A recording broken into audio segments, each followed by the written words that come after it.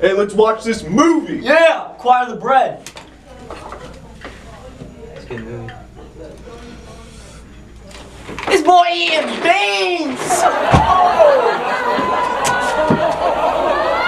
Hey, I'm here live with the kid who was at the movie theaters last night when somebody was eating beans. Yeah, Roger, so I'm on a date with my shoddy goo, and she goes to the snack bar. I look over, dude, this guy's eating a can of beans.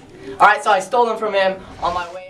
And now I'm here with the bean boy himself. Tell me, son, where'd you get those beans? I actually got them at the uh, Sierra High School Canned Food Drive. There's actually another one going on right now. You can deliver the cans to 5th period through Friday the 16th. Hope you enjoyed the promo. Bring your beans. Ah.